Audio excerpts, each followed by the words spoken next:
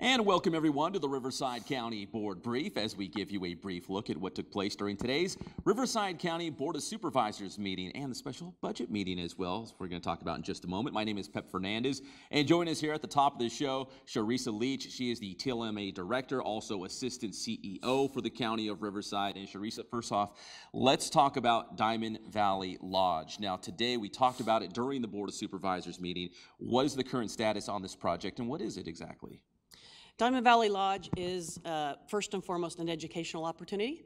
Uh, they, uh, there's an event center and a golf course.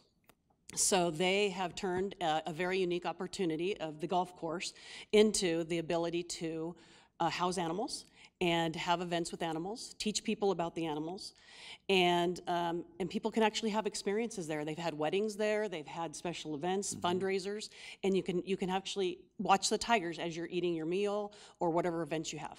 And Charissa, we're looking at some uh, some video actually of Diamond Valley Lodge. So today, specifically during the Board of Supervisors meeting, um, I want to make sure we, we get this correct. But I guess there's a plot plan and also uh, a change in zoning that's going forward. Correct? Yes, yes. So today, the plot plan was completely approved.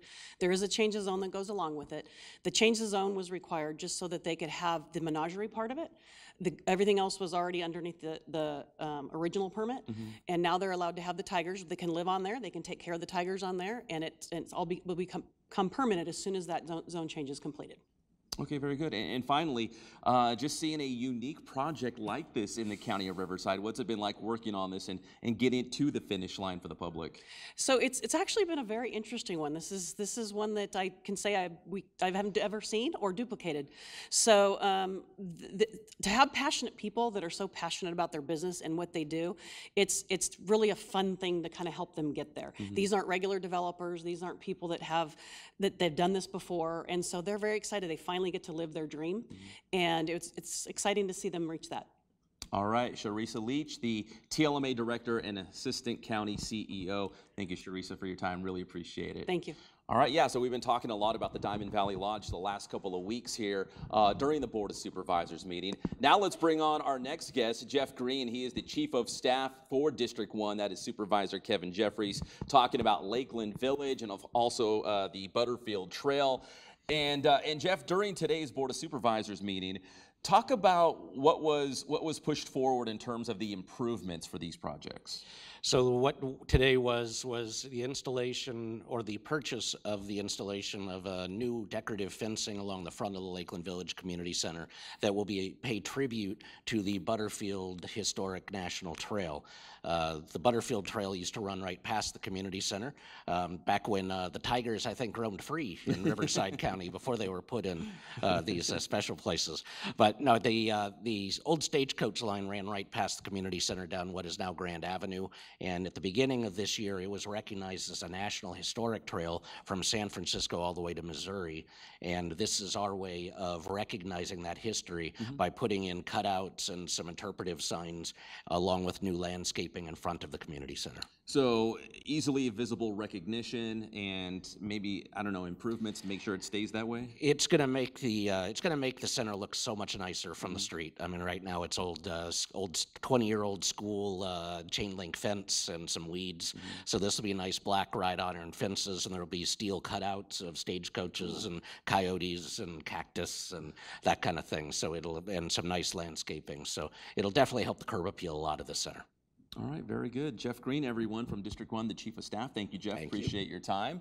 Uh, and if you've been watching the board meeting today on Tuesday, also on Monday, come on over, Michael Ambolo, Chief Finance Officer. We had our budget hearings on Monday, and it spilled into Tuesday as well as they go over the budget for the next fiscal year. And our Chief Finance Officer, Mike Ambolo. And, and Mike, um, you know, going over the, the budget today, um, I think it was pushed forward towards the end of the month to be officially approved. But what took place during today's Board of Supervisors meeting in terms of next fiscal year's budget? Sure, absolutely. So it's an interesting time of the year for us. So we have submitted our recommended budget to the board. We presented it to them, as well as we heard presentations from various uh, county departments on additional items that they might want in their budget.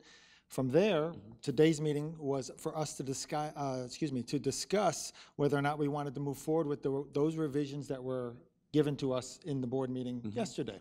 Um, That p- proved today, right? And as a result of that, we will then take the recommended budget as well as what's called an amendment report to the board on the 27th for their final uh, vote and adoption of that budget. When, it's important that we do that because July 1st, we're going to need that new money to start paying our bills, right? So it's, uh, today was critical in the process and it went successfully.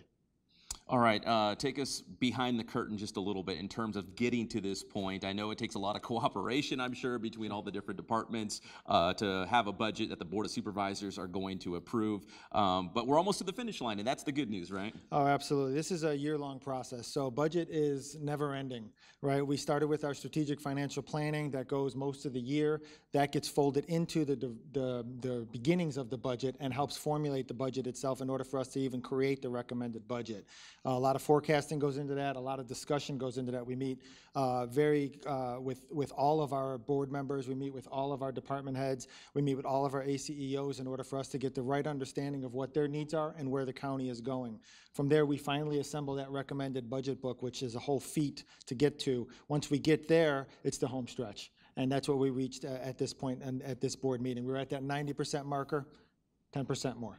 And I think you mentioned, I think it's June 27th, right, which is the, uh, the board date when they'll come back and officially approve it for the fiscal year? That's correct. We actually uh, have to have it approved in, or uh, officially approved by the 30th of June, but we happen to have our board meeting on the 27th, so just a few days there to spare.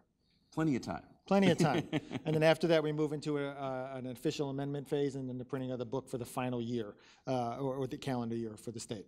But it's a good time for us. I think it's a very, I, I know it's a very good book that we put together. Well, very good. Thank you, Mike. We appreciate the time. That's Mike Ambolo, the Chief Finance Officer, Officer for the County of Riverside here. Thank you so much. Uh, and also, we want to remind everyone that it's almost time for the 4th of July holiday. And if you light it, we will write it. Check out this PSA from the, your team here at the County of Riverside. Every year, thousands of accidents and fires occur due to illegal fireworks and explosives nationwide. Those deafening blasts over our neighborhoods, while car alarms are going off and windows are shaking, our veterans and pets are traumatized. Riverside County has a zero tolerance policy for illegal fireworks. Anyone caught purchasing, lighting, or transporting illegal fireworks is subject to fines up to $5,000. So let's keep the fun and excitement of fireworks to the professionals and enjoy the many public fireworks shows throughout Riverside County. Remember, if you light it, we'll write it. And you'll probably see that campaign in a lot of different places, including billboards as well, just like last year. My name is Pep Fernandez. We always appreciate you watching the Riverside County Board Brief, and we will see you next time.